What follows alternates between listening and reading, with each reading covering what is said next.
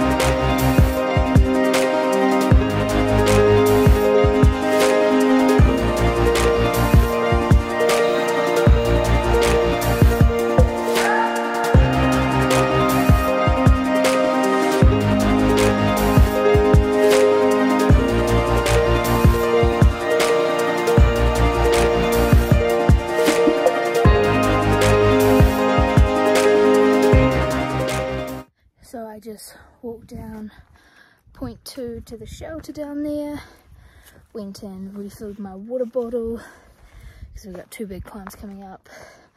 Went to the privy, ate some food to fuel me up these next big climb. And so now I'm heading back on the trail. done 6.2 miles this morning. It's only, it's not even 11 o'clock yet, so that's pretty good, I feel. Got another six to the shelter tonight. Yay.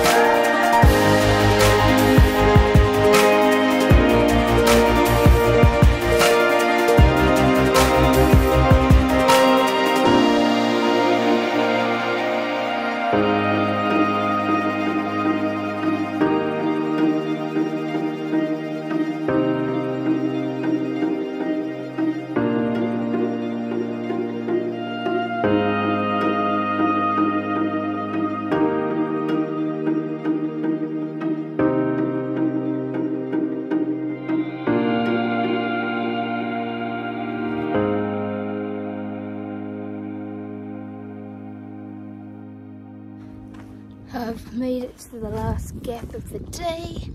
Got one mile to camp uphill, and then I'll be there. And we all know how the last mile goes, but it should be too bad. It's not nearly as hot as yesterday's.